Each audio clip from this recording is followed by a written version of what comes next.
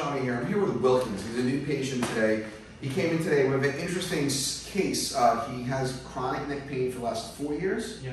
and lower lower back pain, and he's been going to his doctor. And he can't find a doctor to see him till when? January 14th. January I 14th. had an Uh, appointment scheduled October 18th and it was canceled and put for January 14th. okay, so the rheumatologist. So he's in the system. He's not able to get the care he needs. So he looked me up, and you were looking for a Y strap. Yeah. So the Y strap is a form of um, manual decompression. I'm a big believer fan of the ring dinger, Yeah. but you want the Y strap, so we'll, we'll do the Y strap and we'll see how you respond with it. So let's see what your range of motion looks like. Bring your hip back into extension like I showed you. So you see how the shoulder's being recruited on the right side, look mm-hmm. down, look down, good, come back to normal, and bring, look, normal, turn that way, let me see, turn, now turn that way. Okay, so his range of motion is limited, a lot of pain, and you said on a scale from one to ten, you feel about an eight right now. Yes. Okay, so let's go uh, sitting on the table like I, the way I showed you. Let me take this off so we can, and uh, uh, turn, put your feet that way. Okay, and don't lay down just yet. I'm just gonna put this here. Okay, good. Lay back down. I'm sorry. I thought it's easier for you to do this way. Okay, good. Take your head up again. All right, good. Put it down. So he was considering going to South Carolina to see Dr. Cipriano, who's a chiropractor that kind of didn't invent this, but he kind of made them famous in YouTube. But you know, if you're watching this in YouTube land, there's a lot of chiropractors in your town that probably do the Y strap. So, not saying don't go to him, but you look around and find a chiropractor local. You can save a lot of money on gas, airfare, and hotel. Okay, so you watch the videos, you know all about this, right? Yes. All right, take a nice deep breath in and relax. So what I like to do is I don't like to jump right into it. I like to give it a little bit of wiggle. Good. Relax. Good. And do it again. Good. Breathe in. And let your air out. Relax this time, Marcus.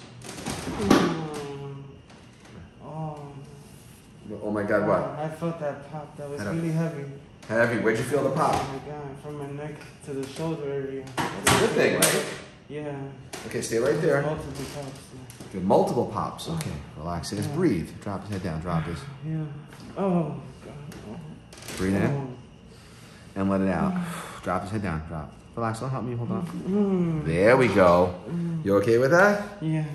Okay. Sit up straight. I'm not done with you. Stay just like that. So his issue is he's really restricted and he was being in the system, going to different doctors. And what did we say? The doctor didn't believe in chiropractic? Yeah, he doesn't believe in it. All right. Well, you know.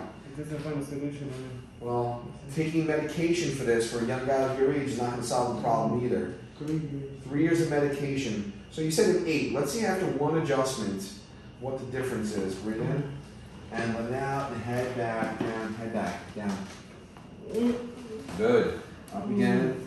Not done. Down, down, down. Got it. Good. Stand up. Not done. I just want to see what's different. Turn face to the camera. Yeah. What's different here? I can move freely now.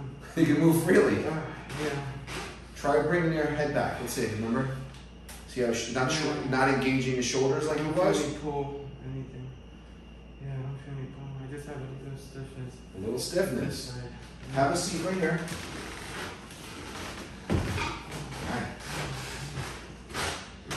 So yeah, there's definitely solutions to people's problems other than taking gabapentin, which is a heavy duty medication. You know, there's a time and place for that stuff, but you know, not necessary all the time. Drop it. Good. Just gonna mobilize you. Get some relax the shoulder. Oh wow, we got that loose. Land your back flat now. Head, your, the head is where it was last time. Okay. Good. So you gotta mobilize your spine, put movement in, take pressure off those nerves. First adjustment, right? Yeah, I felt that from my hips. You felt it from your hip into your knee. Rock. There we go. Oh, Amazing. Flip over. Maybe like a new man by the time I'm done with. Yeah. Just, you know, Drop his arms. So if you're watching this video, he was there. He has Medicaid, and Medicaid, you know, his first appointment was January. So you have to suffer all the way till January, only be told you need medication. When you come here, get seen right away, and get treated, and get the results you're looking for. Good. Good. All right, stand up now. Almost done. Turn around face the camera. Don't worry, head up straight. So I want you, after this, I want to see the real number. Don't lie, tell me the truth. You were an eight when you came in. Where do you feel now after this adjustment? Good. All right, take a breath in. What number would you rate your pain today after that one? Zero. Zero. I can breathe a lot better. now. You can breathe a lot better? Yeah, it was stopping me from breathing a lot. in my chest. Okay, let's turn around and face the camera this here. So this is why. So I want to ask is when you breathe better, look where the nerves come out. They come out and they go right to your lungs. They go right to your diaphragm and heart. So you have compression on nerves. Your Mhm. nervous system, the whole system is irritated. So by decompressing and unloading your spine, you'll move better, you'll function better, you'll feel I better. don't feel any tightness anywhere. I don't feel. Very happy then. Yeah, a lot, much, much, better. Simple. Different than what I walked in with. Yeah. Okay, so an eight to zero in one visit. Yeah. See you in the next video.